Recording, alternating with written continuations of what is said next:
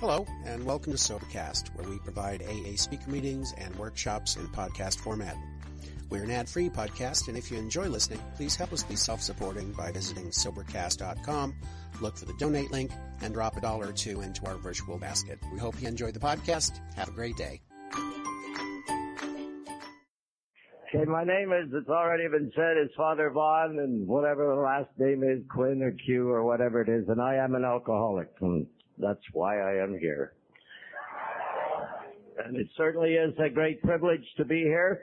Uh, this is the 46th anniversary, uh, and, and it's always something about, uh, life, hey, and it's about, uh, freedom, and that's what we'll work on, the archway to freedom and all about recovery and all about the gifts w- which uh, which we have received. As you can see by uh, this rented suit that uh, says, if not back by nine o'clock tomorrow morning, you know, next two bucks.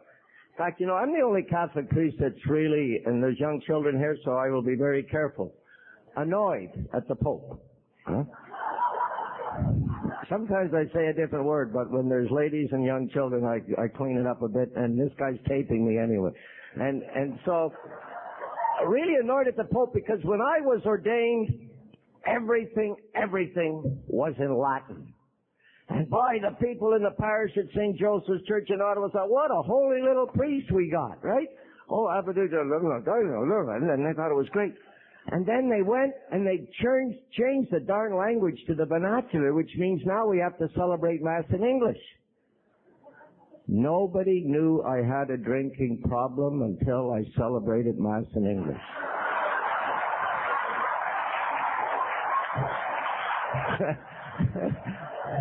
and that's when they said, oh gee, he's not holy, he's spit, he's stoned, you know. Now, who's laughing here? It's, I'm not going to bore you with a, a, a drunkalogue because I wouldn't tell you the whole truth anyway. You know, the, the only things we remember are the glorious things and the funny things and the funny ha-has. We don't tell you all of the the real tragedies and the, the the real anguish we went through. But I just run through that, and I have to. Uh, what alcoholism is is a conflict between behavior and values in the drinker. A measurable, documentable, verifiable, observable, behavioral conflict, what's going on in the drinker's life as to what his real values are. Now, I was born in Montreal, and I had a perfectly normal childhood for 32 years.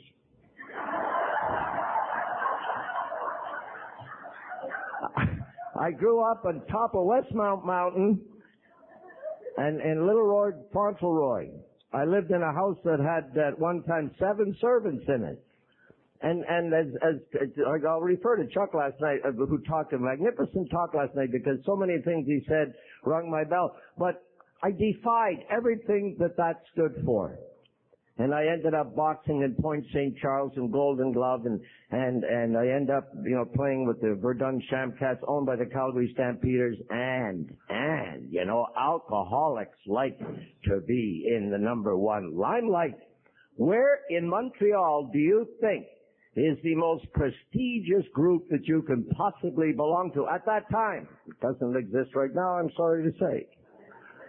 The Montreal Canadiens. And there's only one position on the team that gets all the glory, and that's the goaltender.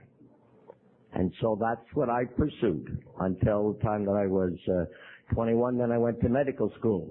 As you know, as some of you know, I'm still the goaltender with the uh, Flying Father hockey team, that infamous band of brain damage, loose loafer, one foot on the curb, nobody's elevator going to the top floor, priest who farm store in the country to play hockey. I have been their goaltender for 22 full seasons.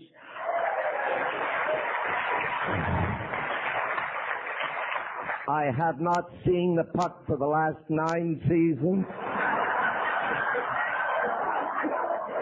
I listen for it. The guys keep yelling at me, Quinny, get up, Quinny, get up. I said, I'm trying to get up. Please, get up, get up, get up. But I would like to report that uh, the last 800 games we have won 800. And there's a very uh, holy reason why we won 800. We cheat like hell. In fact, I just finished a tour in the East Coast. I was playing in the for the Men of Miramichi. At 20, at, I finished with the Montreal, I, I was at the Montreal Canadiens, at the Junior Canadiens, and then uh, when the pros left town, I was able to go with the, or when uh, Jacques Plante left town, because he played with Montreal Royals, I was able to go up with the Canadians. And that was, you know, just, oh my gosh, you know. Chuck was mentioning something last night that first drinks. I can remember, you know, at 17 years old, you know, talking about what type of impression does alcohol make in our brains right? And I was sitting, and at that time it was 40 cents for a quart of Mother Molson's Cure-All. I was in the Kent Tavern, and I was with Maurice Richard, Elmer Lach, uh, Ray Getliffe, uh, Kenny Reardon, and, and the goaltender Gerry McNeil. I mean, and this is the Messianic era. I mean, what more do you need? You know, a little guy from rich Montreal is sitting there with the guitar. I mean, my God, this is like having it made. You do not need anything else. This is the greatest euphoric experience in the world. And I pursued that. My father was a very renowned physician in Montreal at St. Mary's Hospital. And uh, I went to visit him when he was having his appendix out. And he said, well, Butch, what are you going to do? Stop pucks all your life or do you want to be a doctor? I said, I'll be a doctor. Within three weeks, I was in medical school. Now, I hadn't passed an exam in eight years. I stayed in high school until I could play my last hockey game. I was in high school for eight years. One of those years, my dad said to me, Butch, you passed your exams? I said, knock them for a loop. He says, go get a car. In 1951, you people can't remember that. That's so long ago. I had a brand new red Ford convertible. God, was it glorious, right? And I mean, I was the hit of the whole city with that mobile personality, and oh, fantastic. And I went out to Oka, the Trappist monastery, and prayed for a miracle. And then the report card came home.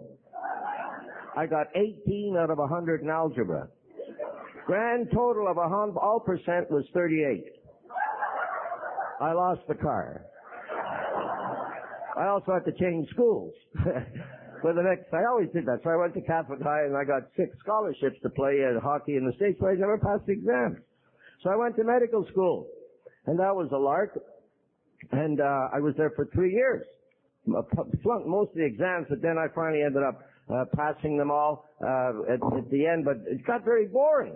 Because all of the guys in the medical school, all they want to do is marry rich women and make a lot of money. And I had come from that background, and it was boring. Boring as hell. So there I was at 23 years old, and I couldn't find anybody to live with me, so I picked on the Oblate Fathers. And that's after my name, and you got marry my OMI. Well, I've just found out what it really means is one more idiot. Right? And I joined in, in, you had to go to arm Arnprior. Some of you referred to arm Arnprior, and, and that's where our novitiate was. And so for the next seven years, I never took a drink.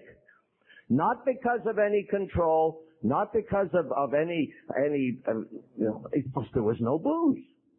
I mean, geez, when could you drink? You got up at five o'clock in the morning, you had to pray five hours a day, and you did that up until the 18th of May, and then you went to what we call the Rock, Wap, Waupoos Island, out in the middle of Lake Ontario, and you pitched 30,000 bales of hay, filled four silos, and fed 500 head of cattle. Now what the Sam Hill had to do with building God's kingdom, I don't know, but that got sucked in. And I, I did that for seven years, right? When you look, the guys, the, the guys have brightened up. They, you know, they, they've woken up to that scam. They don't buy into it anymore. So they don't go after pitch bales. And you swear to God there was a Volkswagen in every bale of hay after the 10,000 one, right? But, you know, it was, the, the deal was then, if you want to get ordained, just shut up and do it, you know. I mean, in Latin, it's qui volt finum volt medium. If you want to get to the end, go through it, you know. And that's what it was. And there was, and I'm Irish Catholic, in case you haven't figured that out. And, and, uh, there's something about Irish Catholics that's got, you know what the heresy of Jansenism is? The more miserable you are, the closer you are to God. right? So if you're really hurting, you really think you're holy, right? and if you're really miserable, you must really be a saint. Well, that's kind of the, the theory we went through. You know, the harder they can make it on you, the holier we're supposed to be getting. Anyway, but there was an element of what was going on. It, it, the whole time that we're in this is, is high, high competition, which is not the spiritual life. And we'll talk about that. But the spiritual life is a life of grace.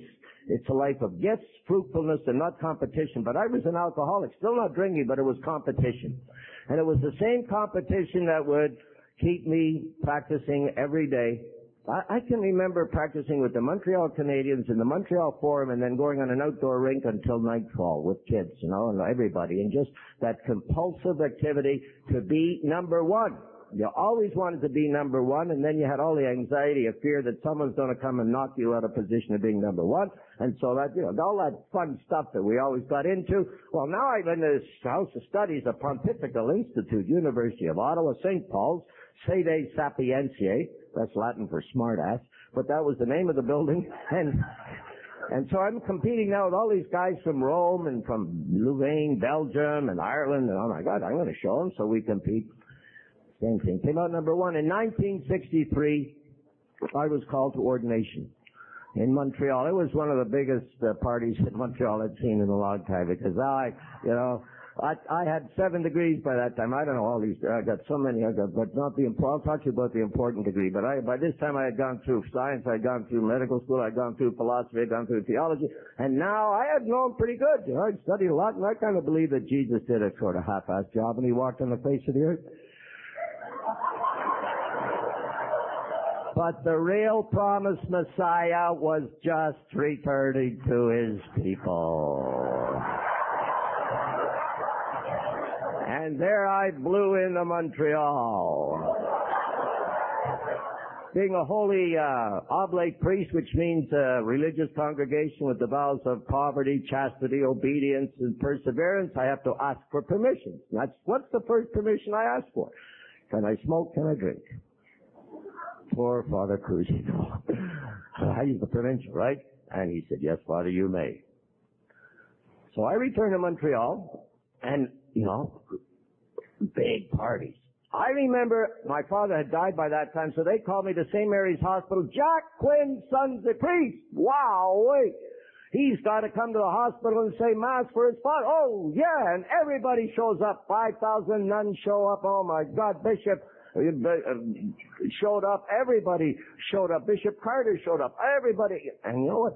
That day I got, for presents, 19 black umbrellas. What the hell do you do with 19 black umbrellas?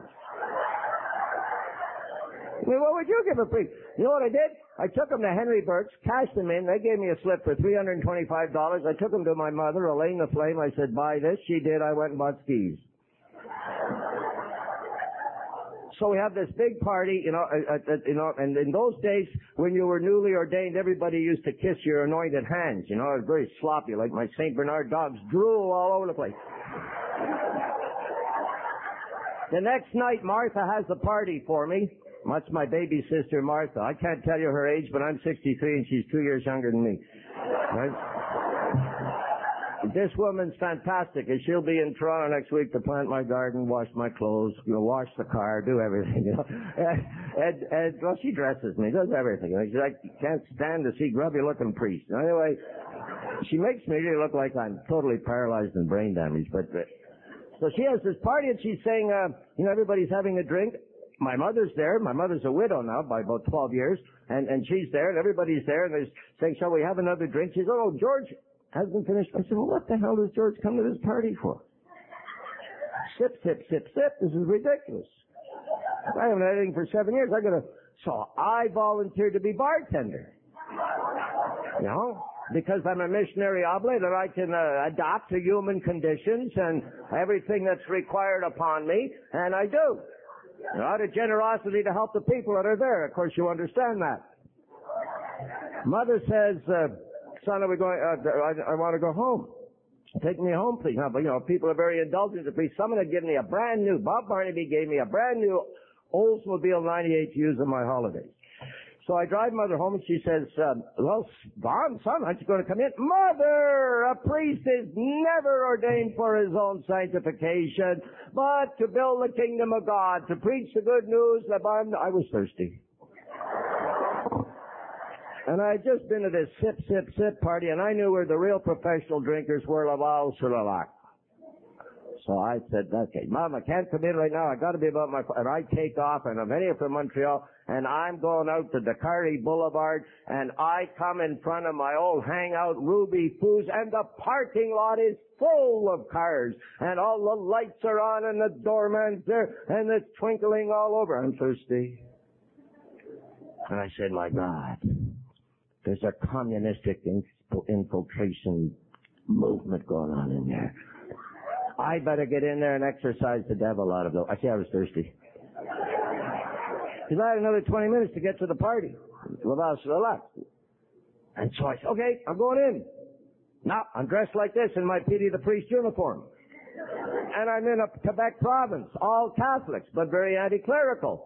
They won't appreciate me looking like this. But being an oblate father, that's uh, trained to adopt to every type of human condition, possibly. So quick Boom, it's gone. That's all I'm taking off, kid. And the loose, flowing uh, sports shirt appears. And I go in and being a shy, introverted guy, it took about 18 seconds to get something going. I knew the bartenders and all of that type of stuff. And the next thing I know, the next thing I know, the lights very hard on my eyes. I'm going, oh my gosh, you know, what's this bright light on my eye? Hmm. So I open up one eye. Hospital? Hospital? Sweet Jesus, where am I? Now let me see. The last church I was in was Ruby Foo's. No, yeah, okay. Now, the nearest hospital to Ruby Foo's is uh, Notre Dame de Grace. Oh, good. So, all I could hear the nurse saying was, Father, don't swear. So I finally mustered up enough courage. I said, Nurse, what hospital am I in? And she said, St. Mary's Hospital, Father, where I was less than 48 hours before blessing everybody zapping them with grace, kissing my anointed hands. Oh, my head. What the Sam Hill's wrong? They said you got 18 stitches in your head. Whoa. I didn't know that happened. But I did say to her, I said, oh my gosh, the car. You know, that sweet Jesus, where's the car? I said, can you phone that last church I was in? And she did, and she said, yeah, there's a car there with some funny clothes in it. It's this bib we wear, right? It was on the front seat. So I had the action part of the program, and I got out of there quick, fast as I could, continued to Laval sur started the party, continued the party. I was a day late, didn't make any difference to me, you know. As long as there was booze there, there was a party. And as we got drinking into the party, you know, the spirits loosened the tongue and we called Ruby Foo's nightclub. And what I had performed was one of the Winnipeg Ballet's most intricate pirouette steps down the front staircase, head first, out the front door. The front door was closed.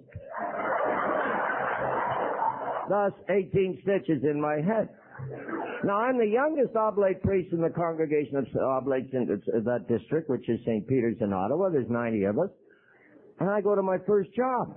And my first job, I have to comb my hair in a funny way so they won't see the 18 stitches, right?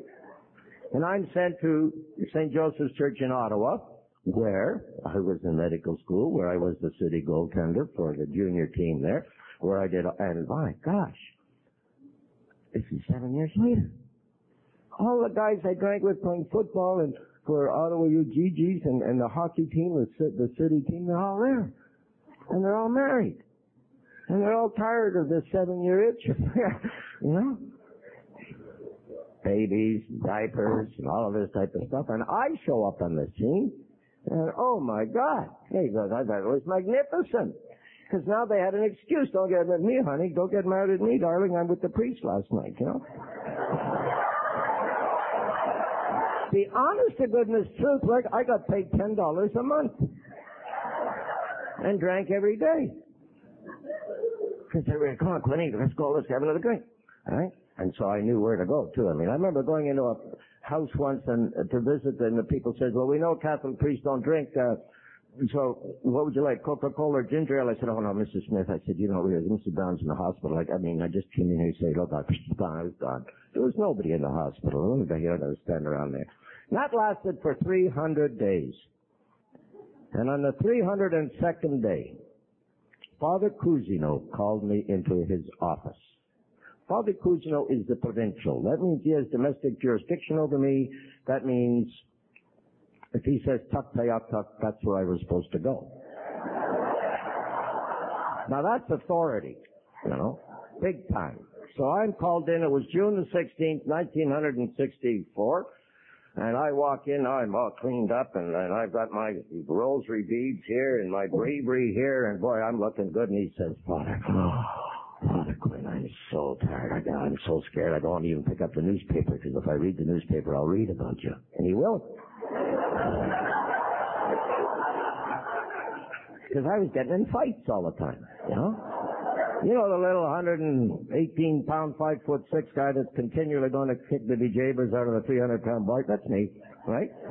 Always getting a fight. And I was the Golden Glove broke out. Uh, and, and, and so, and then so he picked up and for 25 minutes he read, because all those guys that I'd been playing football with seven years before in hockey went to him and said, you gotta do something. You don't know it because you know what happens in Ottawa. You've got skiing in Hull. So I would go night skiing every night, right? And après ski, what are you going to do, right? Well, a little après ski. So I would get in the bars again. And so he read this thing. Now he was perspiring and his heart was going boom, boom, boom, boom, boom. I thought he was going to pass out. And he talked for 25 minutes. And you know what I said at the end of 25 minutes? Is that all he knows?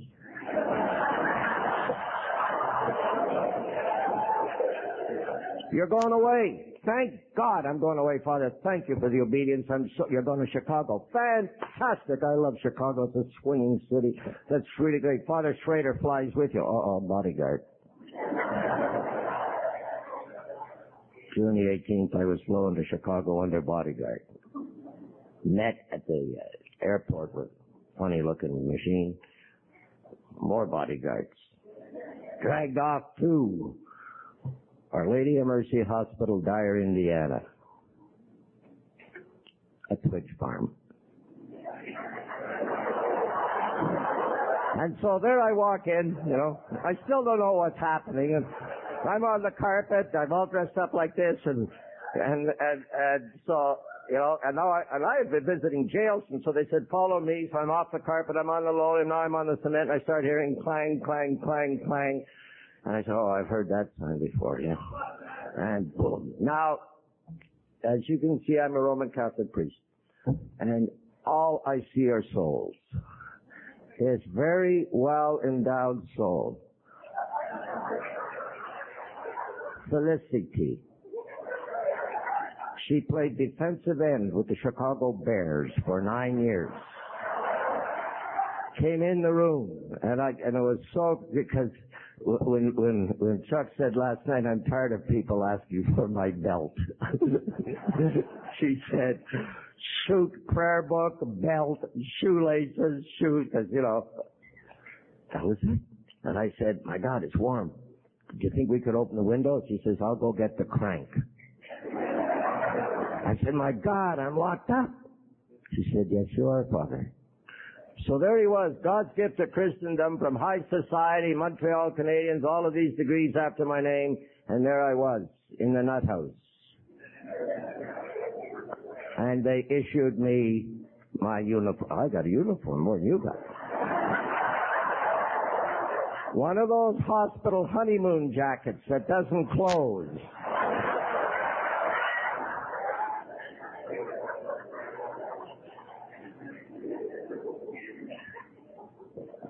And you have to walk this way all the time. with your back against the wall so you won't be smiling at people, right?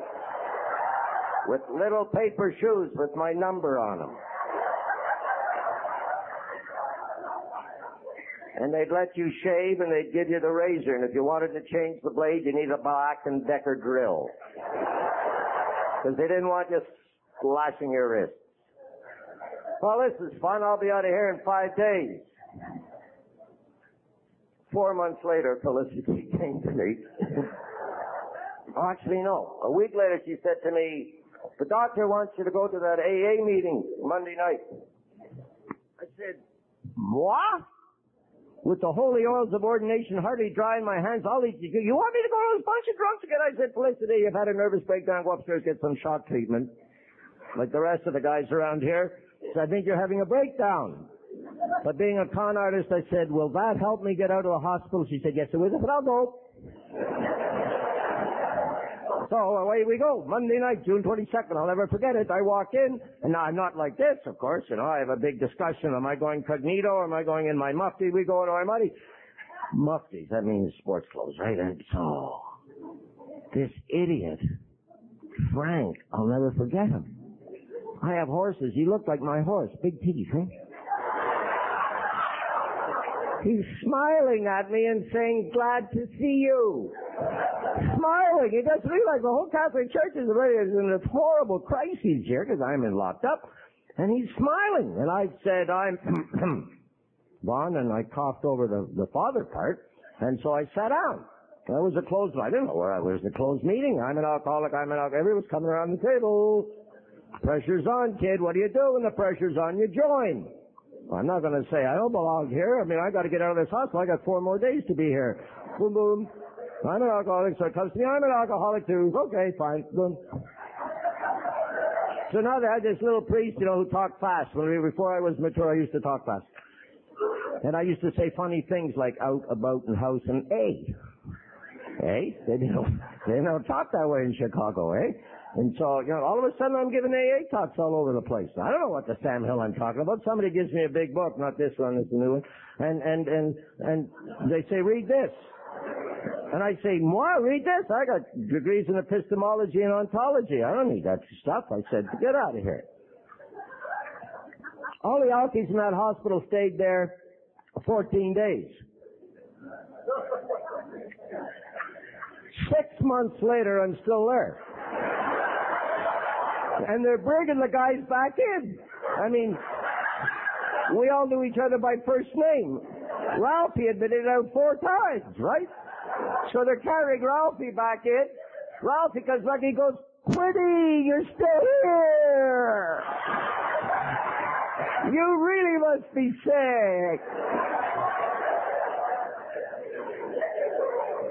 So I pick up the book. Got to be something in there. How to get discharged from the Twitch farm. How do you get out of the nut house? Got to be here someplace. Wasn't a bad book. After I started reading it, I rewrote it. Hey, it was pretty good. I straightened it out a little bit. 57 weeks later, I went home, uh, to Edmonton with, uh, know, that's when I got hooked up with George Strachan. I, I did my time, then I went to guest house, which was a positive place for Catholic priests and brothers, and I was the youngest priest that had ever been nailed for boozology since Jesus walked on the face of this earth.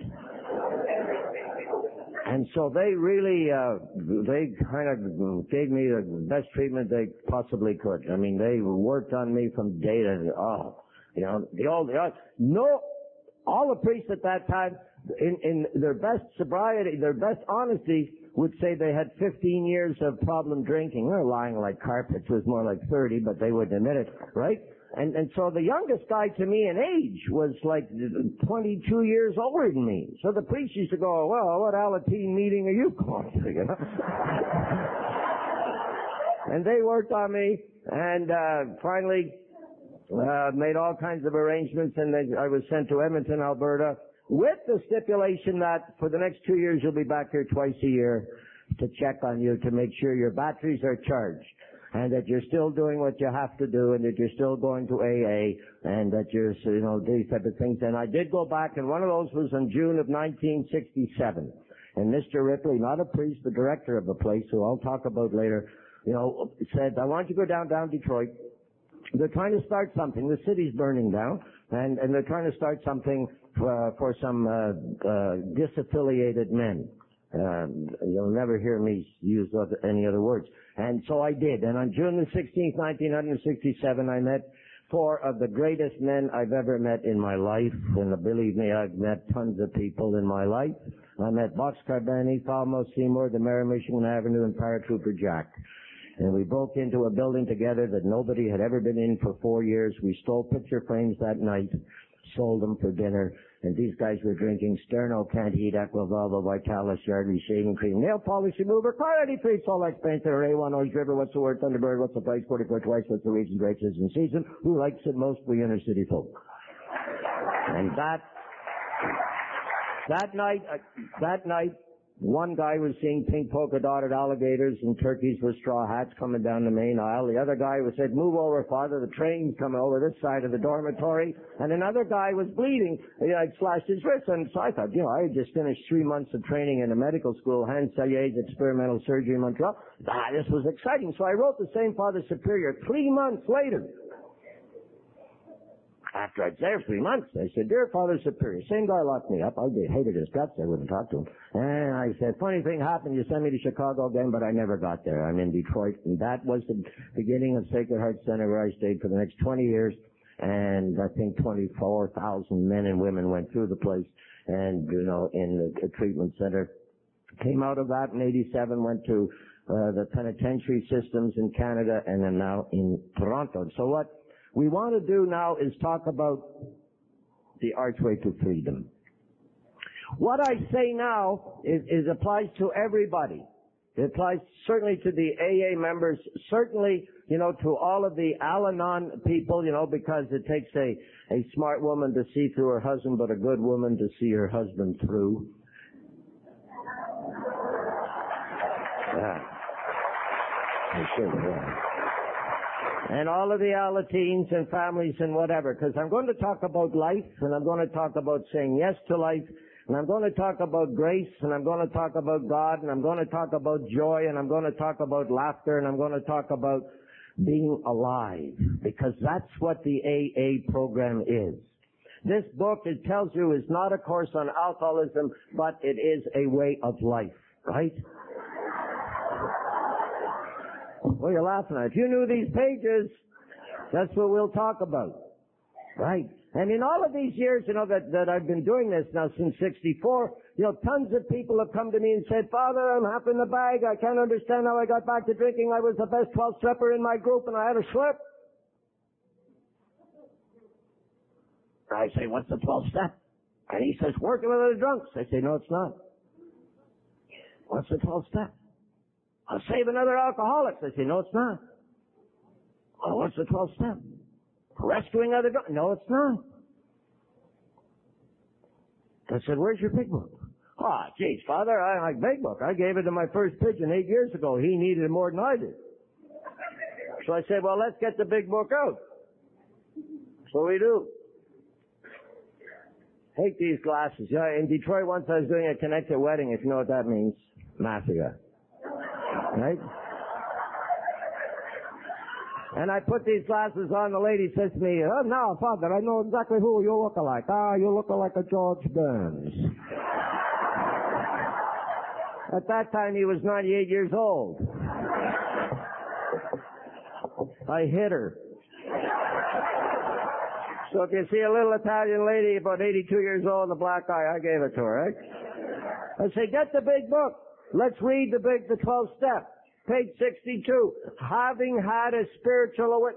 Ah, he says, there you go. You're priests and you ministers and everybody like that. All you do is you start talking to me this God stuff. And if I hear any more about this God stuff in AA, I'm out the door and I don't want any of this type of stuff. And I looked all over for spiritual awakening. I didn't see it. Hey, I looked all over for God. All I could see was little green men and more pink polka dotted alligators and turkeys with straw hats. I said, well, what is the spiritual experience? She said, I don't know. As I turn to page 579, page 569, that's my address in Detroit. I said, there it is. An education process. William James, the father of American psychology, right there. An education process. From the Latin word educare, to lead out of a person a hierarchy of values that were once there but have gone dead, dormant, asleep, kaput, fini, and no more because of the progression of the disease of alcoholism. What am I talking about? Joy, enthusiasm, self-esteem, self-respect, joie de vivre, being caught in, in, in the stream of life, being alive, laughter. You know that laughter is one of the proofs of the visibility, of the soul. Risibility means capacity to laugh. Risibility of the soul, risibility is one of the proofs of the spirituality of the soul. You know, if you can't laugh, you're dead. And before we came into AA and Al-Anon, we didn't laugh. We snickered at people. You know? Told you so. you know? No joy. And all of a sudden we're in AA and Al-Anon for about six months and somebody says something, we go, ha ha ha, oh, oh, now what's wrong? First time he's laughed in 14 years, just sprained his back. Call a doctor. My back.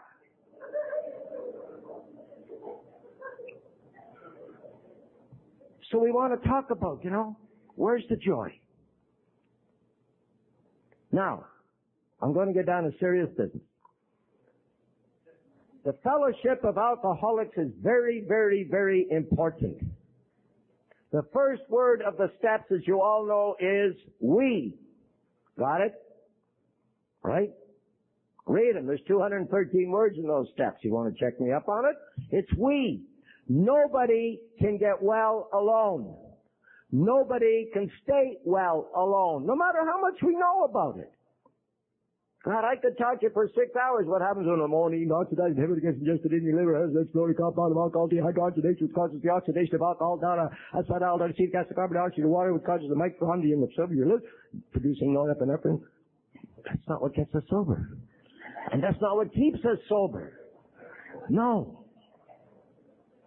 So that fellowship is important.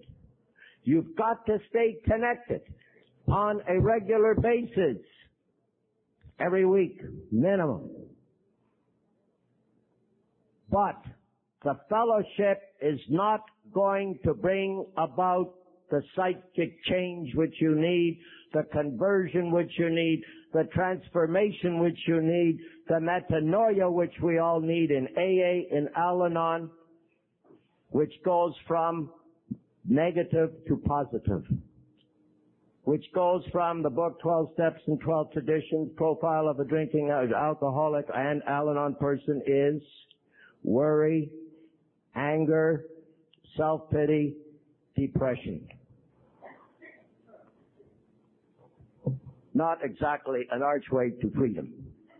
And that has to be changed into what we've talked about since I've been here. The promises, page 83, 84, freedom, happiness, peace, serenity, which is four. That does not happen by just saying, well, I went to AA and it didn't work. I mean, I tried AA and it didn't work for me. Well, what did you do? Well, I went to meetings and I sat there. And I drank coffee and ate a hard donut and sat in a small filled room and smoke filled room and I, and I listened to drunkalogs and nothing happened. That's not what the commitment to the program is in AA or Al-Anon. It's the internalization of the steps. Basic, basic truths. There ain't no such thing as a free lunch. But God, we, we, we know, we know that. And so we have to, we we, we, we've tried, we know that. You know darn well if, if, you know, if one of you won the lottery tonight, you'd blow it away in no time. Easy come, easy go. Right? The only things that are of value to any of us in life are those things we sweated for. With pain. The greatest gift that God gave us is pain. However, Chuck was saying that. We had all those things. We were in, in pro dressing rooms. I was there. Ah, who needs this? No. I mean, you just tell us we have to do something. We're going to say the heck of it. We're not going to do it. No way. No, we're, we're the type of people that'll buy tickets to a great musical Broadway show that's coming to town six months ahead, pay $200 a ticket, you know, brag about it for six months. The night comes to go to the show and we say, shit, no one's going to make me go to that.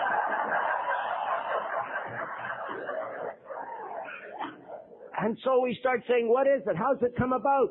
It comes about through the internalization of the steps, which are the ways to freedom. This is not a, uh, what was that funny word I used? You know, Jansenism. This is not a program of moral rearmament where we go around telling each other how bad we are, where we go around, you know, saying, I'm no good, I'm no good, I'm no good. This is not a program to just drive us into the ground in guilt and, and depression and, and, and remorse. No, it's a program of life. Life, you know, this for we Catholics this weekend is Pentecost Sunday. Tomorrow. That's the gift of the Spirit. That's the foundation of church, which is people. That's the promise, and I don't know what your concepts of Jesus are, but he was a winner. He wasn't selfish, and that's what he promised to send us. And he's here, and I'll talk about that. But it's about life and it's about love and you were created to love. And boy, did we ever mess that one up. okay? Eh? We'll talk about, okay. So we get into looking at the first step. The first step is a positive, creative acceptance of my human condition to work out my destiny in this plot which is given for me to till. Is it positive? Is it creative? Is it accepting of myself? Is it something that gives joie vivre to life? Is it something I give to others to share? I pass through this garden of life but once. Is the garden going to look better after I'm out of it? Ah, was it that way when we were drinking? No. So the first step means the best way I can describe this one is, is the, the first psychi- psychiatrist that worked with, with Bill Wilson was uh, uh, uh Dr. Tiebout. And the first woman that came to AA, I think it's Marty Mann, but I don't know. I had the privilege of being in a treatment center with her after I was sober about a year for about a month, and Alana, Elena, Elena Lodge in, in New Jersey. And, and, and he talks about this woman first woman in AA. And she was all of those things which we were before we're drinking. And I go put two columns up here. Where will I start? Yeah, this will be. Over here. Over here on this column. This side of the roof, right? What was she like? What did she feel like? She felt depressed. She felt worried. She felt unclean. She felt remorseful. She felt dirty. She felt guilty. She felt unloved. She felt unaccepted. unaccepted. Give me some more. She felt like shit. Okay. What else? Come on, give me some. What else? Dirtbag. Come on. Unloved.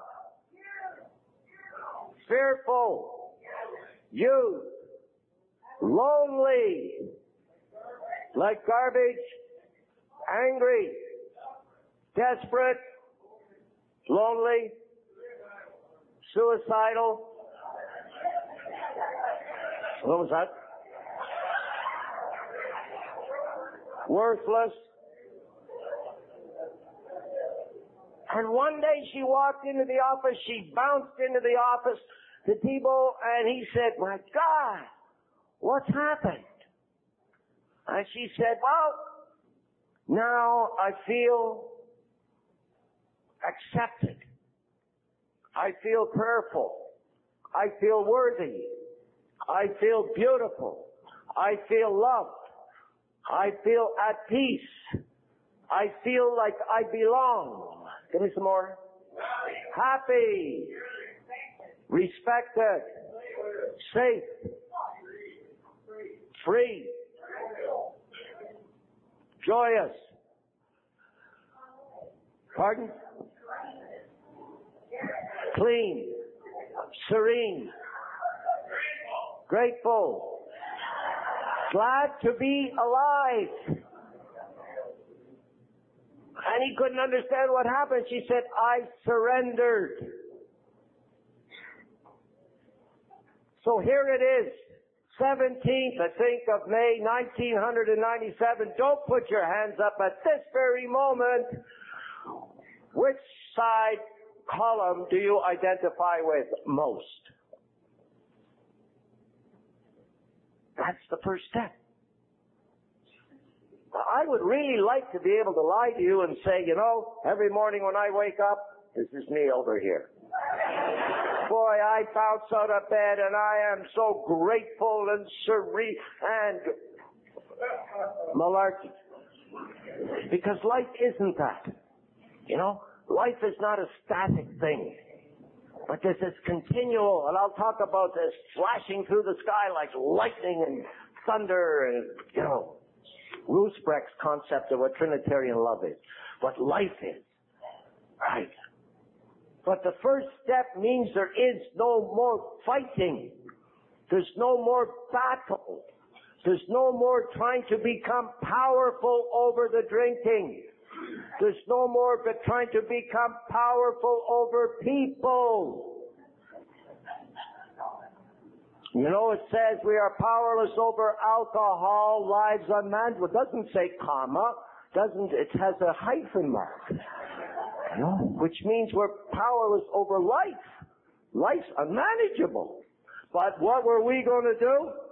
His little majesty, the baby, was going to control that.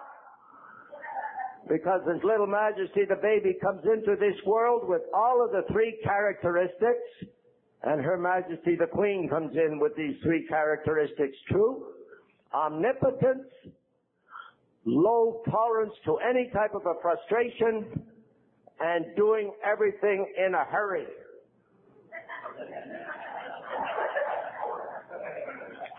Who, when we were drinking, it was omnipotence. I mean, he's all powerful. Our wish was everybody else's command. You know darn well. Somebody said you can't do it, boom, we'll do it. So we fought everything. And we were going to prove that we're going to control people. By gosh, we're going to control it. We're going to make things happen in this world. Damn it, I'll make you love me. You watch. You're going to end up marrying me. That's, what, that's the way it is. Then the poor girl says, God has given me a mission.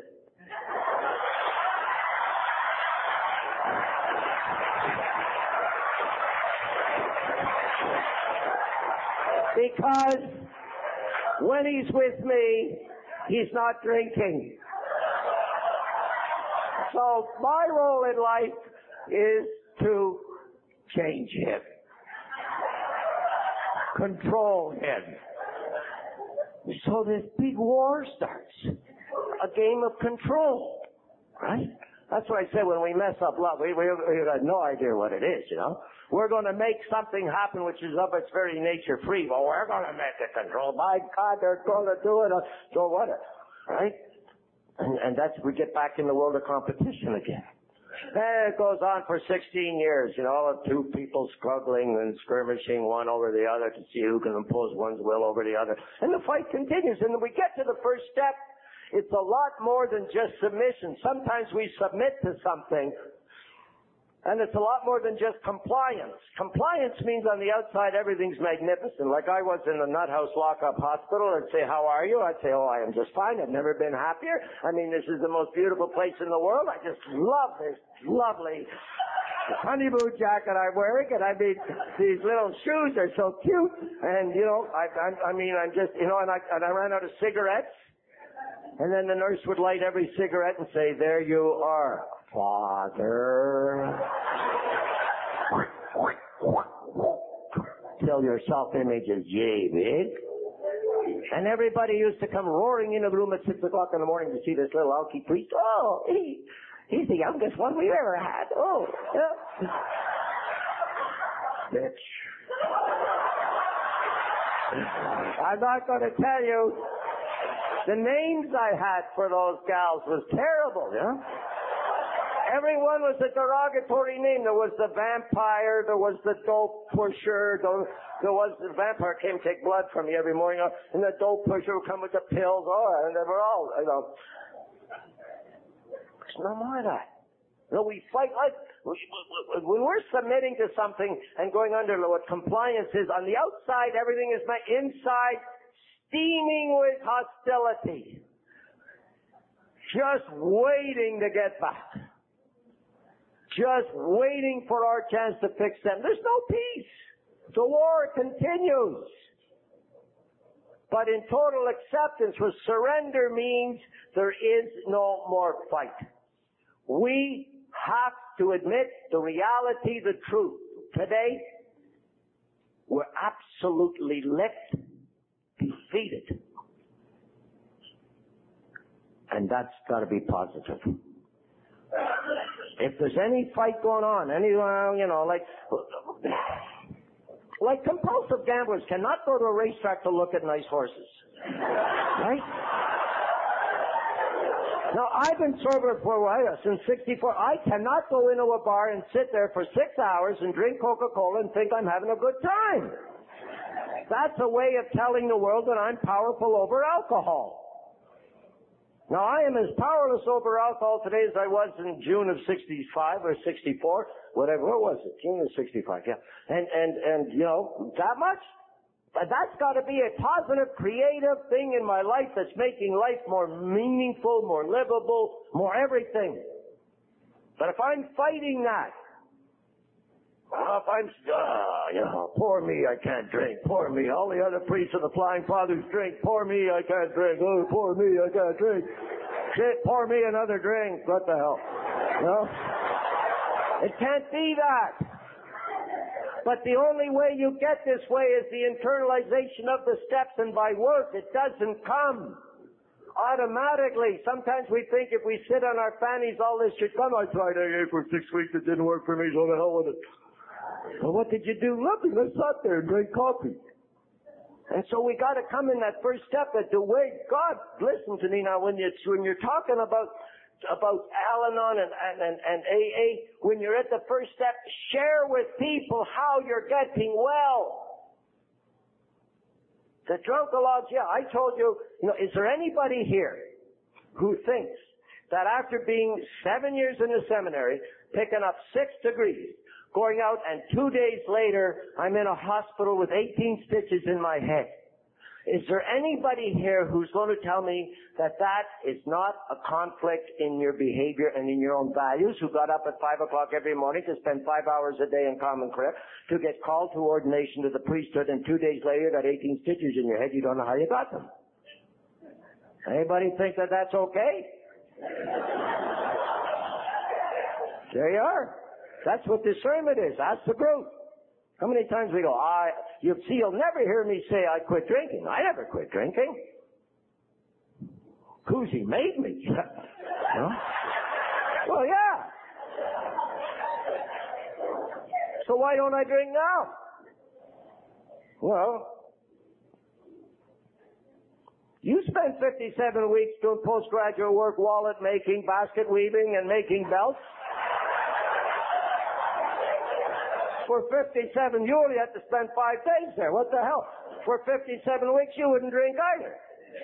Because I've been sober since I was 30 some odd years, I forget. What, what is it? 65, right? And the disease has progressed. And if I ever take another drink now, geez, how much time will I have to spend in house? I'll never play another hockey game with the Flying Fathers. I'll never sail my boats across the ocean. Oh my God, it'll be a drag. I won't have all the fun I have, you know, raising hell in churches. Oh yeah, we have, a, where I preach, it's just a riot. Okay, so we get there. You have to ask yourself tonight, Al-Anon and AA and Alateen, where are you on these things? You know? Are you asking anybody? Ask, ask your, your, uh, partner. Which, which column do I live by? When you see me, which column do I look like I'm in? Do I look happy? Do I look joyful? Do I free? Do I look enthusiastic? Do I look I'm putting his on? Do I look like I'm life's nothing but a great big shit sandwich and I gotta and I gotta take a bigger bite every day.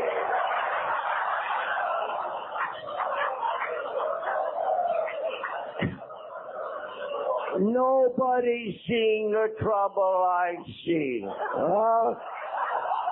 Don't you want to help me? Addictions, okay, what's the addiction of alcoholism? Addictions are what?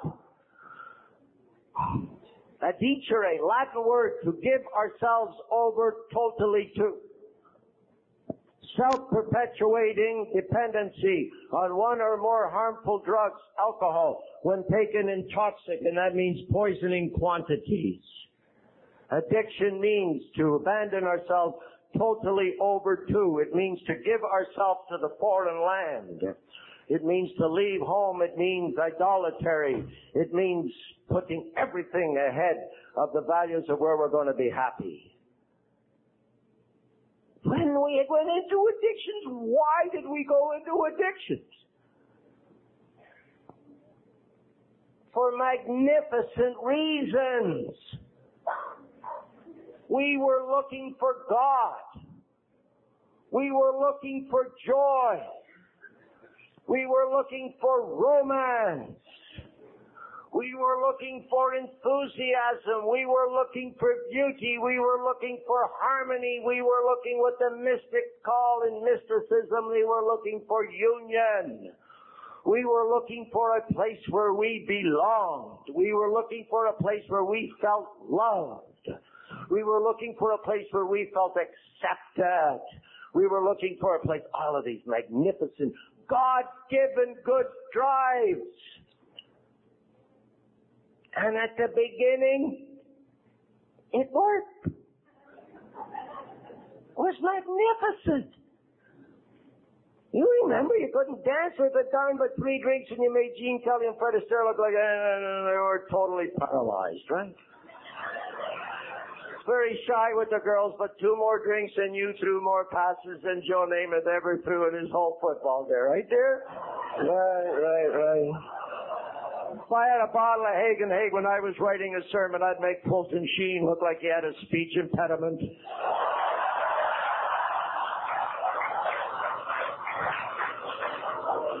We sold more things. We drove cars better. We won more races. We did everything better. Stopped more pucks when I was hammered. Did everything. And it was magnificent. You know the rule you got in Canada, because I was in the States for 20 years, 0.08 on the drinker. When they made that movie in 1966, they gave everybody a drink and put them driving in the parking lot, and then everybody started knocking over pylons. Well, I know the guy they threw out of the movie. The more movie they gave him the drink, the better he drove. That's us.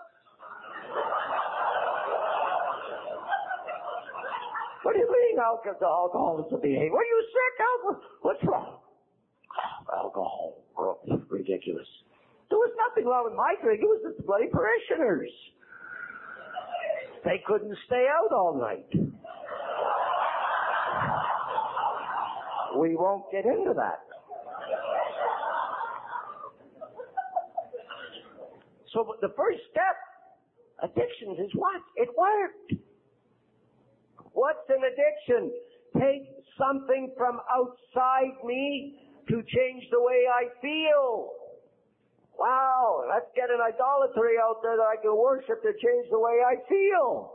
Did alcohol work for us? Beautifully. When we were drinking, we wrote symphonies that proved that Mozart never wrote one with a soul. Did everything better. We were at one with the universe. Oh, God, it was magnificent. The visions we had.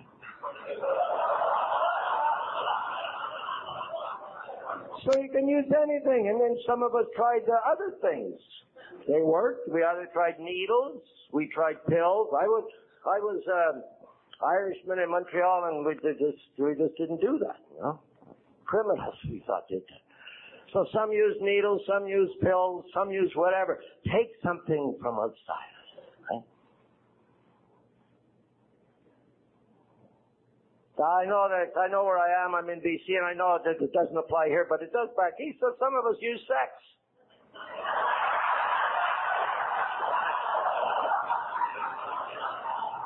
A fix to change the way I feel. We use people. There's three addictions. Hey, there's the romance addiction, relationship addiction, sex addiction. Three different things completely, but all with the same goal. Use something from the outside to change the way I feel. Right? Oh, you become everything in my life. Without you, life has no meaning. You are the beginning and the end, the reason for living, the reason for loving, the reason for dying. When you say that to somebody, you're the demon himself. You're Satan himself. Because what you're doing is you're setting somebody else up, and then after a year I say, what the hell? You don't love me like you should. We've been living together for a whole year, and you still don't love me like you should. We set people up to do things for us that only God can do. And when you don't do it, does anybody know what I'm talking about? Power. We can use power. Oh, yeah. Well, Adler, he's a philosopher came in after Freud. He says the only reason why we do anything in life is for power. We all have such a terrible concept inside of ourselves, such a pit of, of, of self-pity and of an inferiority complex. The only way that we can get good feelings about ourselves is to impose our will on other people. We can do that by playing General Bull or Sally Sedekis. Play baby. Shh, don't make any noise. Baby's in the house. Manipulate people. Can we manipulate people? Get people to do what we want to do? You know darn well when we were drinking and even after we stopped drinking, if we have to get five Academy Awards in one afternoon, we can do it. Right? God, for 30 years I've been doing close-ups, and interventions on people, and just the acting is so magnificent, you know? You know, when we close in on the guy, everybody's there, and then, oh my God. And we're close, and, yeah, and then he's pushing every button because he knows what's buttons to push, you know. And I'm there, but I'm, you know, and then all of a sudden the tears come down, you know. and wifey says, oh father, let's give him another chance because he's crying. I say, bullshit. How has he cried before? 1,732 times, right? Ah, oh, we get everybody to do that. So all of a sudden they melt right in front of us, right? Religion. Religion can become an addiction. Hey, religion can become something that we use from the outside to change the way we feel. We, we affect God. In other words, we make God an object of, of our addiction. God becomes a toy. God becomes our best buddy. God becomes somebody we're going to manipulate. God becomes somebody we make deals with. You know? God.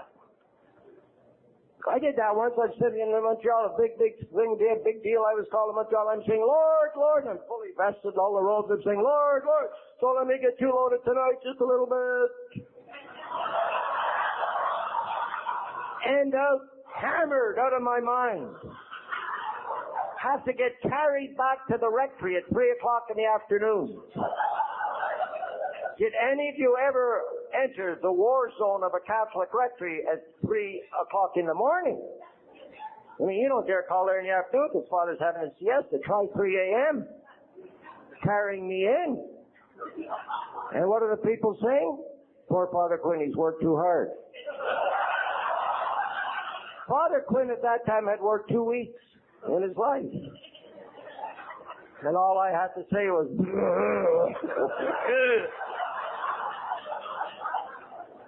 and you wake up the next morning, now what do you do? God, How could you let this happen to me, your priest, after I've given you my life with the vows of poverty, chastity, obedience, persevering? Oh, the old violin comes out, right? Oh my God, we play a symphony here that is just so we're more rolling in the morass of self-pity. And what can you do then? You get feeling so bad, you have to drink again to get feeling better.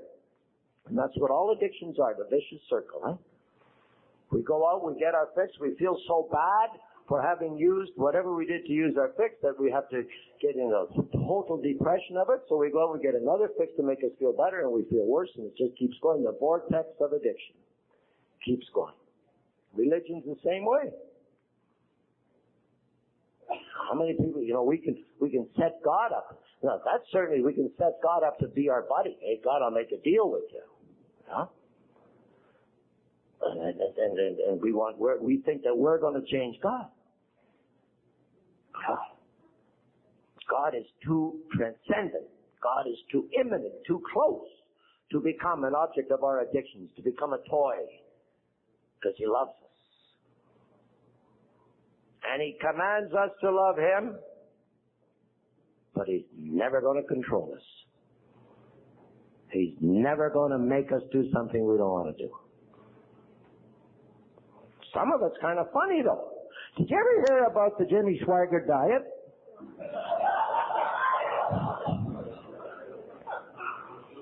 One part, and you lose it all.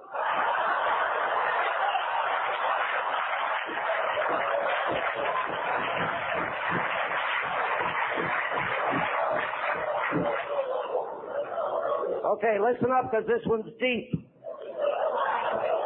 Do you know that TV evangelists do more than lay people? Steve. Now we've got to talk about faith. Because we're at the second step.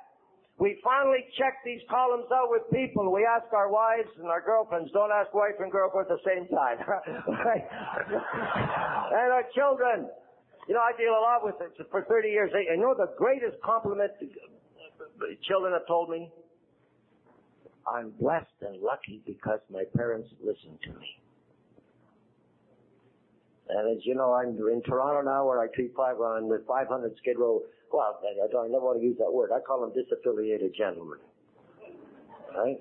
Well, I've been doing it for 30 years. It's never going to hear me say anybody's a bum. Ever. That's a terrible word. I was standing, and there's as many here as you are here. It was every day. And I'm standing there making, doing the coffee thing, and the guy says to me, Father, you're ever jealous? What the hell am I going to be jealous? Are you ever jealous of all these guys? I said, what? Jealous of these guys? What the hell for? He says, they're going to be in heaven before you. we start talking about faith, and as soon as you mention faith, everybody starts looking up into heaven. And they're adoring God and his long white beard and a pink cloud and a lot of flaky angels drumming, Hosanna, Hosanna, Hosanna. They don't give a damn about this guy, this guy, or this guy because I'm busy adoring God. If God wanted us up there, we would have been, I don't know, angels. You know? He would have created his angels to be up there helping governor. You know, I can imagine a more boring job in my life. But anyway, he's not. He put us here. What are the six words that Dr. Bob gave Bill Wilson?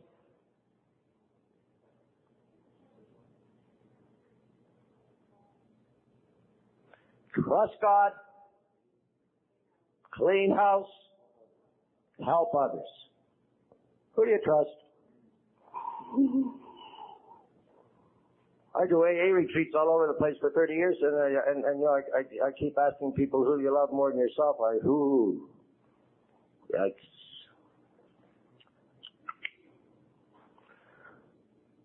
So who do we trust? See, because faith is built on trust. Faith is, and I want you to get rid of all the doctrinal stuff that you learn in school and, you know, and everything else. I know we ought to believe that stuff. I certainly believe it and all of that type of stuff. But, you know, I want, what, the language I want to talk to you is language of the heart. Because life is not lived up here. Life is not an intellectual assent to doctrine, dogma, and definition, but life is a gut level response to situations in which we find ourselves. That's where it's at. That's where we live life. In the heart. In language of the heart. What's faith? Who do we trust? Who? Not gonna do that. I Had a bad experience. I don't even have that meeting anymore. You know what they said to me? Didn't like what that person said to me. Not gonna go to the meeting anymore. I love the one with the AA and the outlaws get together. You practice your program, I'll practice my program. You do your thing. That's a, a selfish program, remember? I'll do my thing. It's a selfish program. You can't tell me what to do.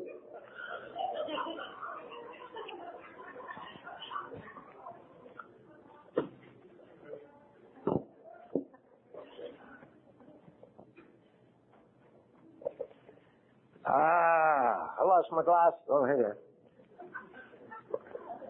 Oh, that's what you look like. Oh. See, a lot of people, uh, you know, the book's all messed up. There it is. See, a lot of people pick up how it works. Rarely have we seen a person fail who does whatever the heck they want with this program. Only taking to heart those things that are going to be meaningful, convenient, happy, and easy for them to do. Of course, cast aside anything which demands a little discipline, growth, sacrifice, or pain. They're sure to get well.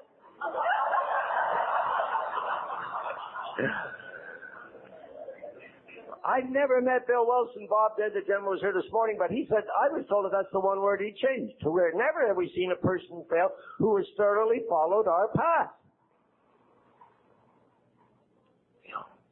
Our path, not Vaughn Quinn's, not anybody else. It's this. It's a selfish program that if Bon Quinn continues to do the things that are in these steps, then there's a good possibility that I'm going to be joyful, happy, and free from what I was before. But on the second step, we're talking about faith, and faith is not gawking up into heaven, hoping. Faith is an action built on trust. And what it is, is the movement from the comfortable place to the uncomfortable place in our lives that demands risk. What am I talking about? Resentments. Re-feeling old hurts. Ah. What about fear? What are those things that block us? What about forgiveness? Everybody in this room, I think, at least I do. I know that there's people in this world I owe forgiveness to. I know there's people in this world that I owe a letter to, a phone call, an act of kindness to. I know there's people in this world that I gotta move from my little box and move out of that little box of comfortableness and into another place that demands risk. See, it's so easy to walk around saying, well, I'm a terrible alcoholic. I can't do anything. Give an AA talk. No, I can't. Why? I haven't been in the program long enough. How long have you been in? 18 years. And I must be the stupidest, and I must be the ugliest, and I must be the dumbest, and I must be this, and I must be that, and I'm terrible, and I'm bad, and I'm bad, and nobody is badder than me, and God's made junk, and I'm it, and oh my God, and it's terrible, and it's terrible, and it's terrible, and I go to meetings for 23 years, and all I keep saying is the same drunk meeting, and all I'm saying is, there is no being greater than me to forgive me.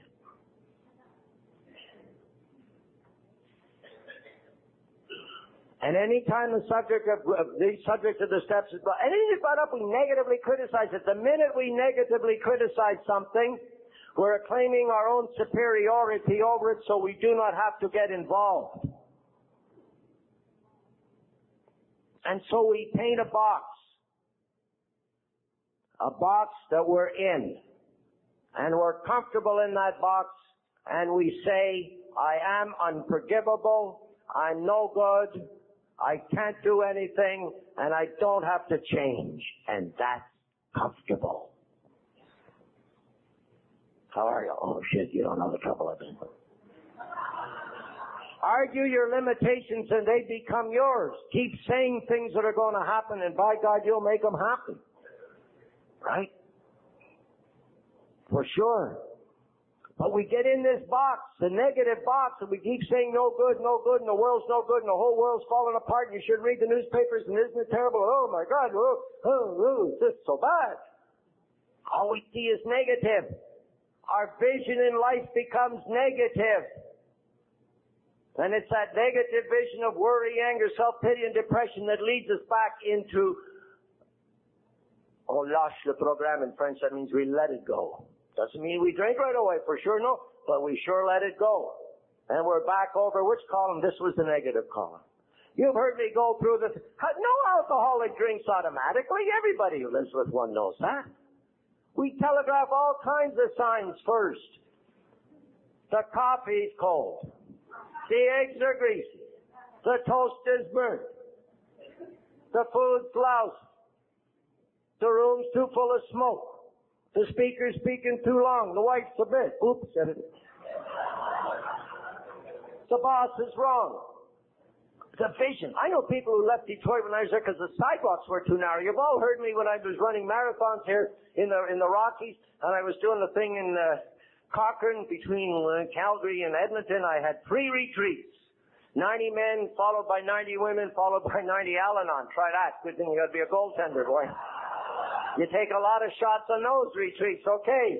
So I'd say, fine, you gotta work hard. You gotta work very hard. You gotta be in super shape because people knock on the door at one o'clock in the morning. Can I talk to you for a minute, Father? And I go, oh God, yeah. Okay, what is it? Keep it to the present. Okay, Father, back in 1948. So I said, fine, get me a car and I'll run. And one day I ran, I ran 10 miles, 8 miles, or whatever it was. I always exaggerate by 2 miles, okay? And, and I'm coming back in a Banff Springs hotel at 6 o'clock at night. Oh my God, the sun was the color of this, of your shirt. Boy, there wasn't a cloud in the sky. It was big, oh, magnificent, you know? Blue sky, 7.30 or the 6 o'clock at night just as the sun's coming down, crimson red sunset. Oh, God mountains falling 15,000 feet high, you know, millions all snow-capped, you know, billion and one evergreen trees all standing at attention for this great Magnalia Day, and I'm pumped up from all this running.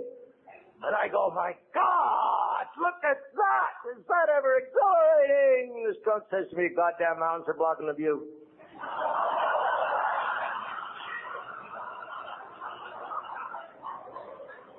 Uh, that's a true story, but we're all that way. We are. I, I get that way. I can't understand. You know, I'm teaching I'm living. I get that way at times. We all do, but we got to have people around us. You know, when we do the discernment, that just means we got to sponsor people checking up on us and that type of thing. So that faith means when do we move out of that box? You know, love means you know what was that stupid song? Love means you'll never have to say I'm sorry. What a crock of shit that is. What? really? You know, it's like, like, like we're all angels, like we're not human. God put us here in the human race because we need each other very much.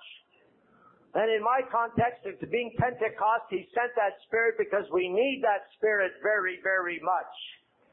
And we need His presence. And where's His presence? Up there? Hell no, but here, yes. You want to see recreation? You want to see faith? You want to see God's work in this world? Quit looking up there and look there.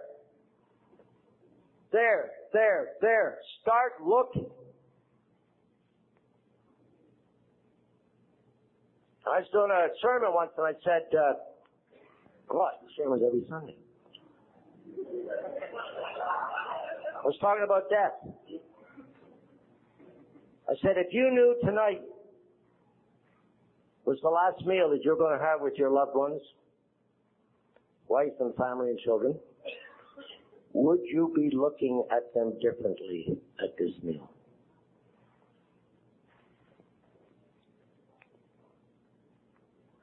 Here we are in AA. one day at a time, Al-Anon to retrieve. Been given all the tools for freedom, right? All the tools to get rid of all of these addictions, all the tools to get rid of all of these attachments, all the tools we've been given to get rid of these foreign lands that we go into, all the tools we get rid to, to we are given to go uh, get rid of these idolatries that we go into. Uh, idolatry means picking a foreign land, putting uh, putting something else ahead of what is our source. And here it is. Next, we decided. This page 62. God was going to be our director. He is the principal. We are his agents. He is the Father. We are His children. Most good are good ideas are simple, and this concept was the keystone to the new and triumphant arch through which we pass to freedom. So, I mean, it means God is the new director. That's the arch we pass through freedom. It doesn't come about by sitting on our fannies doing nothing. We gotta come out of that little box of comfortableness. And we got to take risks. If life is not offering you any risks, it's boring.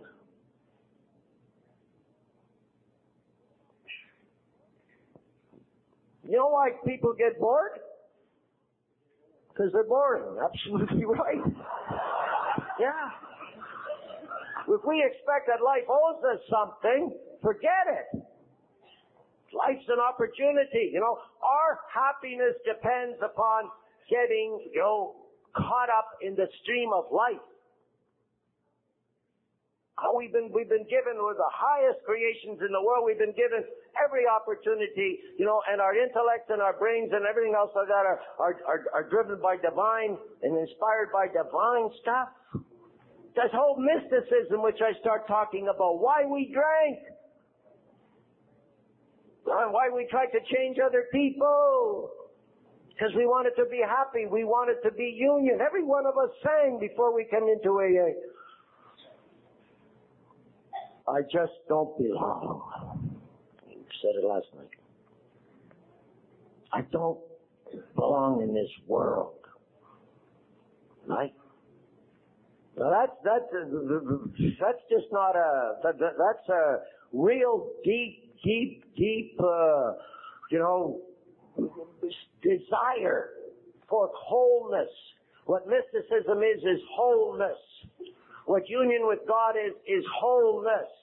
What union with God is is what we're. That's why we drank. That's why we drug. That's why we hit on people. That's why we got caught up on doing all kinds of things. And now it says made a decision to turn our life and our will over to the care of God. And most of us come out of that because we've had bad religious experiences and we keep saying to each other, don't tell me any of that God stuff. My God, if you mention that God stuff, I'd be out of this program in two minutes. For goodness sakes, we're talking about life and death. I'm not standing here just talking to be funny. Right? In these pages, page 58 to 103, 45 pages. If I was to go to the American Cancer Foundation and say, I got these 45 pages that people want to live by those 45 pages, I guarantee nobody will die from cancer again. No! I could sell them for a zillion dollars. Finally unglued your pages. now you can read them. Somebody glued his other pages together. That's it. You know when's the last time I read these? What do you think? Come on, anybody out there? am I talking to myself? When? This afternoon. I won't stand here in front of you because there's a person here that's been sober one day. That's my, give her a hand, give her a hand, give her a hand, give her a hand. Right? All right, stop.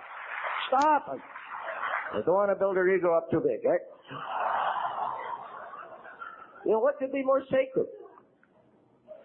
You know, people look at us and they look at Chuck. I've been sober 30 years. They go, forget it. Sober one day. How the hell do you do that? You know? Made a decision to turn our life and our will over the care of God. We gotta get those crazy concepts of God out no matter what religion we were brought up in, no matter what, and say, hey, what is it? Again, it's not a concept. People, I've gone to and people say, I'm trying to understand God. We're never going to understand God. Well, I just done a, uh, analytical study of all the comparative religions. Forget it. You know, you never. God is too transcendent. God is too imminent, too close. God is God. And God's never going to allow himself to be an object of our addiction. We're not going to cassette God, you know, like, Got a job yet? No, my higher power hasn't given me one. How long have you been in the program? 21 years. Well, my higher power parts me parking places. Grow up! Get a grip on life. He's called you out of the dirt of alcoholism, eh? The dirt. The dirt. The dirt. The dirt is beautiful. Because out of dirt comes flowers. If there's no dirt, there's no flowers. And if you've ever gone through life without ever having to accept, suffer or experience any type of a defeat or any type of a real catastrophe, you, my friend, are truly blessed. But we in AA and Al-Anon for sure, we know what pain is. And out of the dirt of that pain comes life. Freedom.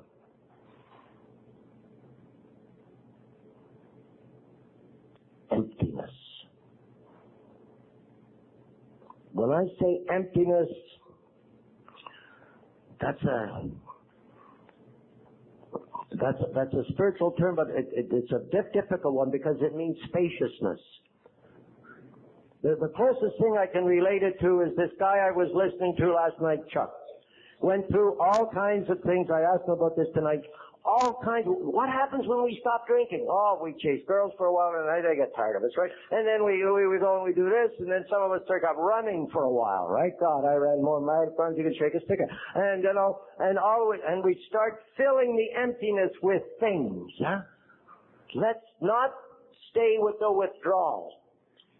We call this uh, reformations or we call it uh, substitute uh, addictions or whatever, and sometimes it'll work. Sometimes we give up alcohol and we choose something else, hoping that the something else will be more friendly, but we're not sure. you know? Sometimes it is, sometimes it ain't. And what, what the, the point that Chuck was making last night when he was coming out of that magnificent Twitch farm that he was in for five days, a lucky son of a gun, right? He was coming home and all of a sudden, no desire to drink. All of a sudden, the mind tricks weren't going clickety click, 72 miles per hour. Now, if I go here, we'll get a drink. If we don't, all of that stuff that goes on all the time, the obsessions. They walked by a hotel, first time in his life. He ever went by that hotel and didn't stop for a drink? You want a drink? No, I don't think I want to go in. That is a graced moment.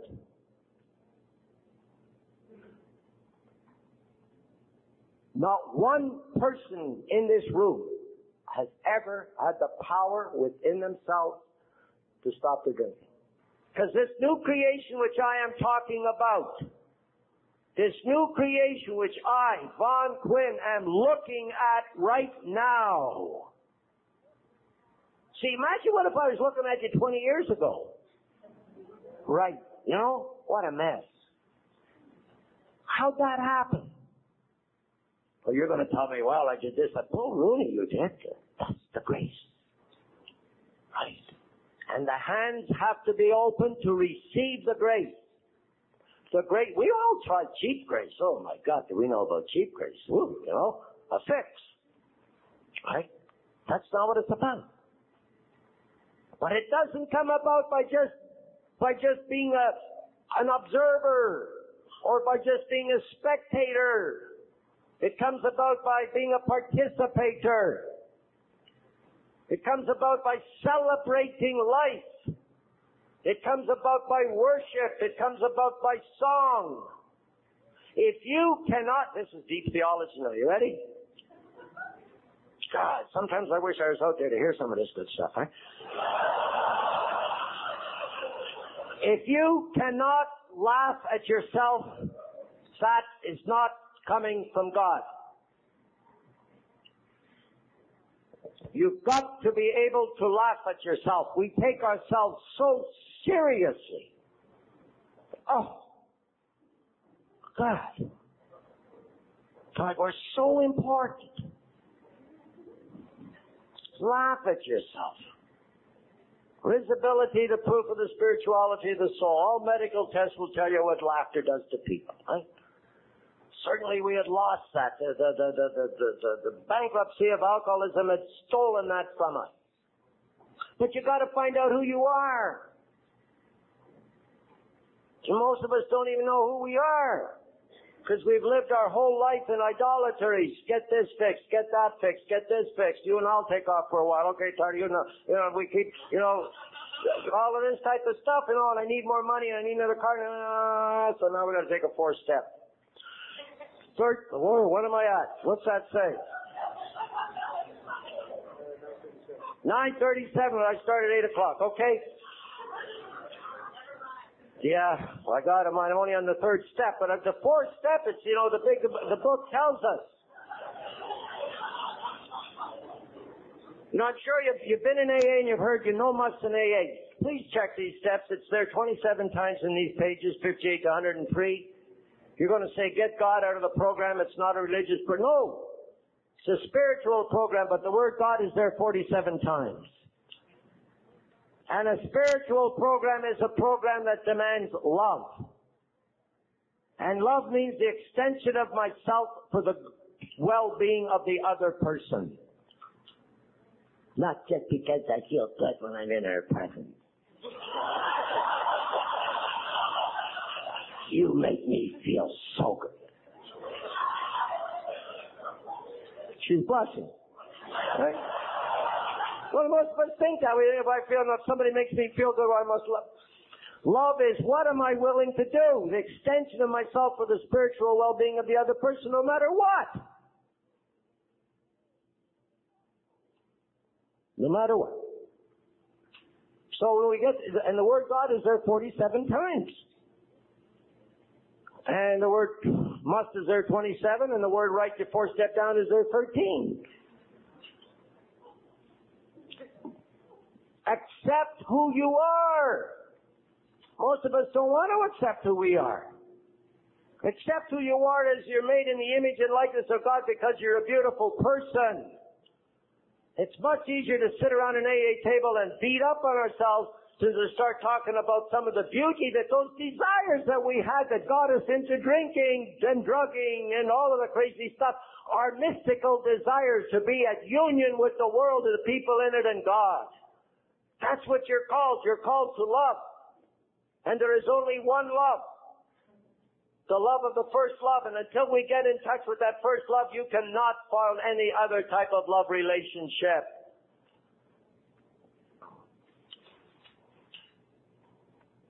But you gotta find out who you are. And to do that, you gotta take the fourth step. And you gotta accept the shadow side. You gotta accept what we call it sin. I don't call it sin anymore, but we in AA know what that is. That's because we're human. Because we need forgiveness. God, you know, why would this guy Jesus come? We don't look for forgiveness. But what we say is, I'm unforgivable. No, you know how they say I'm unforgivable because I can't do this right and I can't do that right and I can't do that right and I because there is no God that's greater than me to forgive me. And so we write all the four step down, eh? These are my strengths, my weaknesses, and read it at once. It says do it at once. Right? Write it down. Start writing about yourself. It's important. You're important. God's called you in from the depths of alcoholism and Al-Anon to be here. You'll be the only big book that anybody's ever going to read. You're going to be the only gospel, that means good news, that anybody's going to read. Huh? What do you want on the tube? What? Yes. So you write all your four step and you write it down. This is me. This is where the loneliness brought me. This is I got to be able to accept myself. When I say accept myself, is accept myself as a beloved son of God, accept myself as a beloved daughter of God. Befriend that. Befriend that. We do not want to befriend that. In our society, the last thing that we are going to befriend is sexuality. Because in our society, we've made a complete business out of. Cheapened it, sold it, packaged it,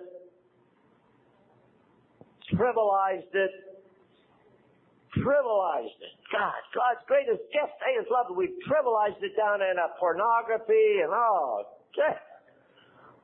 And now we don't want to own it. And until we own it and befriend it, there'll always be lust. Lust, listen to this, this is heavy. Lust does not bring about shame. Shame brings about lust. Because we will not befriend ourselves.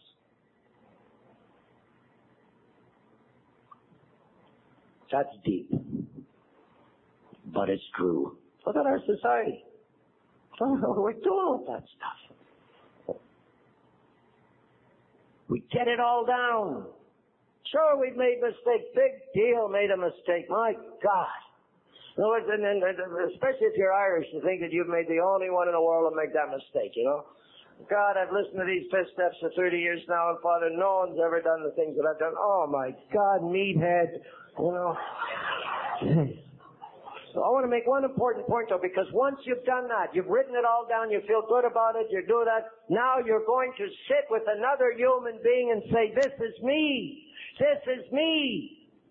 The good, the bad, the glorious, the dreams, the mystic stuff that I want, the beautiful symphonies I wrote, the loves of my life, the pain that I went through, the death that I went through, everything, the hopes that I went through. All of those things this is me. Sure, I made some mistakes. Yeah, bang, okay, fine, good. Now I sit with somebody and say, this is me. And look right in the eyes. And when you do that, for the first time in your life, you are going to accept your creaturehood. And when you accept creaturehood because you've done that with another human being, you implicitly accept a creator other than yourself for the first time. Believe me, I've been through Pontifical Institute seven years, been ordained all this time. That's what does it. And when you accept a creator other than yourself, then you know forgiveness. Otherwise, you never know it. The only way that forgiveness comes to is from other people. You can go to 19 AA meetings a week, and I know people who do just to get out of the house. and you can go to every roundup and in the world and enjoy stuff and stuff. But until we stop this stuff and start internalizing the steps and say, what's this mean to me? And what am I doing about it today? In a joyful way. Freedom doesn't mean, you know, that I'm just going to be able to dance down the streets all day long, belly lapping and knee slapping and doing everything and never have to work and everything. No. Freedom means that in my relationships with other people, they will be tender. In the way I talk to them, in the way I listen to them, in the way I touch them, in the way I make myself present to them in a way that I'm no longer caught up in all of the other what I call foreign lands or idolatries that we all got caught up in, alcohol being one, and then we substituted that. And there comes a time when we have to develop solidarity. Spirituality is when I adopt a solidarity, take that tranquilness, take that emptiness, live with it, do not fill it all up with all kinds of other noise and stuff and place myself in the presence of other people and be able to accept them coming as bearers of gifts. That rolls off my tongue pretty beautifully to accept people as bearers of gifts. Try living it. Magnificent. Because sometimes we think, yeah, we're chosen in AA, but that doesn't mean other people are not chosen. Everybody gets chosen. And when we talk talking about spirituality, look into each other's eyes. Start celebrating and affirming the people in your life.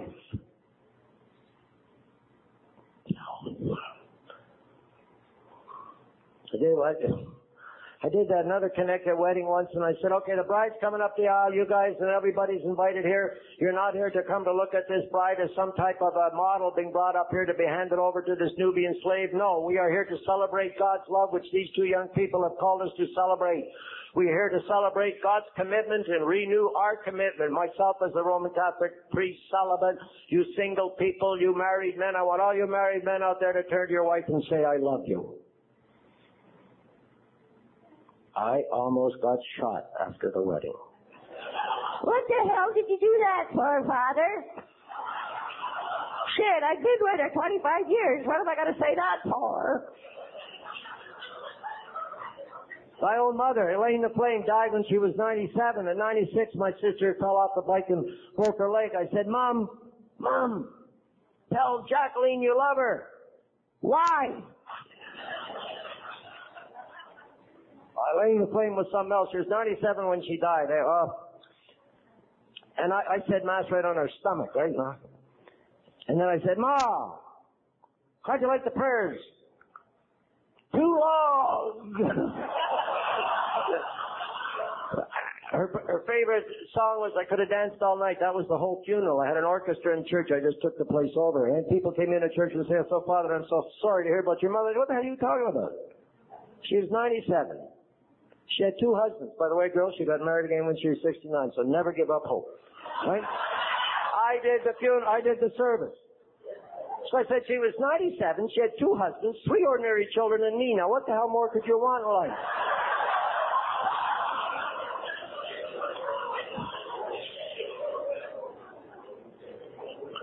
So, go out and celebrate it. Let the world know you're alive.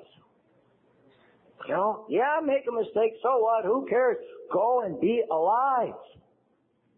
You know, that's what it's all about. Now, how are you going to reflect God's love into to other people?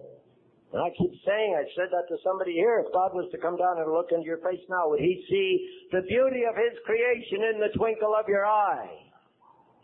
Only you can answer that, nobody else. Now there's some more steps, and there's 12 traditions, and there's 12 concepts, but I don't think I'm going to cover them all.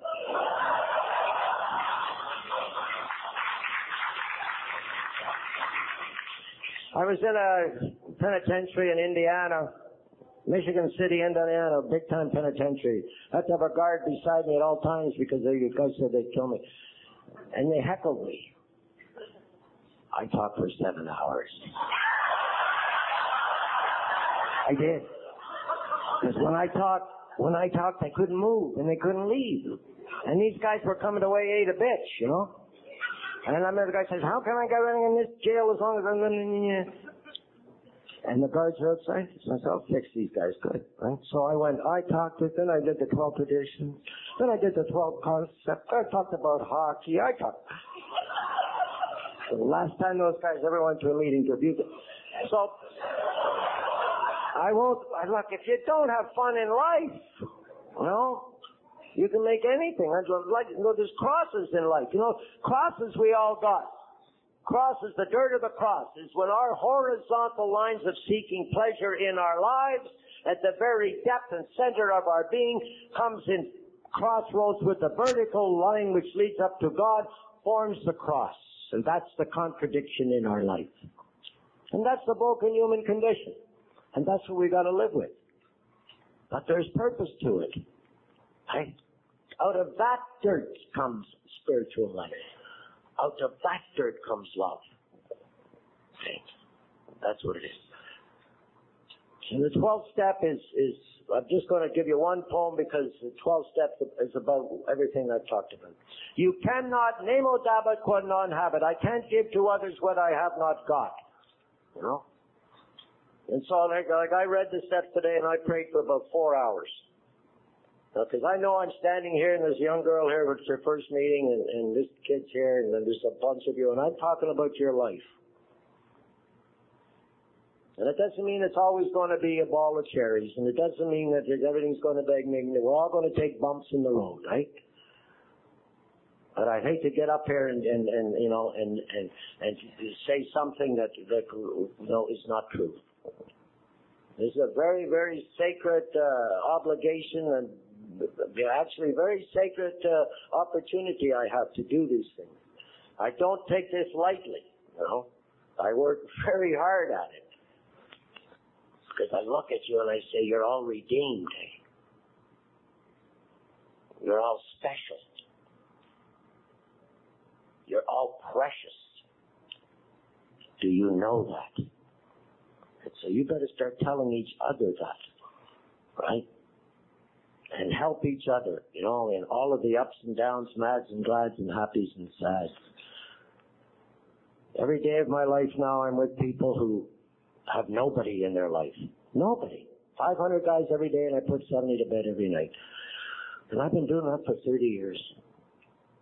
And, you know, sometimes great rewards once in a blue moon. But some of the stories, the stories are people pulled away their love from me. For good reasons, I'm sure. You know, I'm not blaming that. But I'm just saying, you know, that, you know, when we look at, there's 10,000 kids on the streets of Toronto. Where I am with Brothers of Good Shepherd. So I'm just saying, and here I'm here tonight and I see beautiful people. Smile, kid, or uh, right? Smiling, right? Laughing, loving, and celebrating, and that's the grace. That's the grace moment. For me, that makes sense because now I go back to Toronto and the same thing. Well, I'm going sailing tomorrow. You know that deal, right? Tom asked me to come out. I said, find me a sailboat for Sunday and I'll be there. And he did. So I sail tomorrow and then I go back. Okay, fine. But it's being here and I see all the life that's here, all of the beauty, all of the grace, and that's the stuff that keeps us going. And so I stop by saying to all of you, I do not wish you joy without a sorrow, nor brilliant sun without the cooling shadow, nor endless day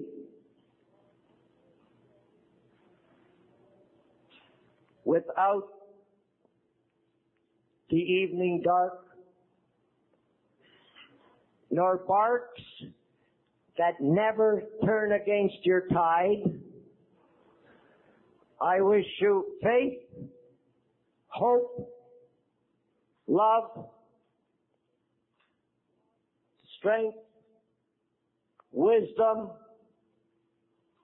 goods, gold enough to help some needy one. I wish you songs and God's blessed peace when every day is done. God bless you.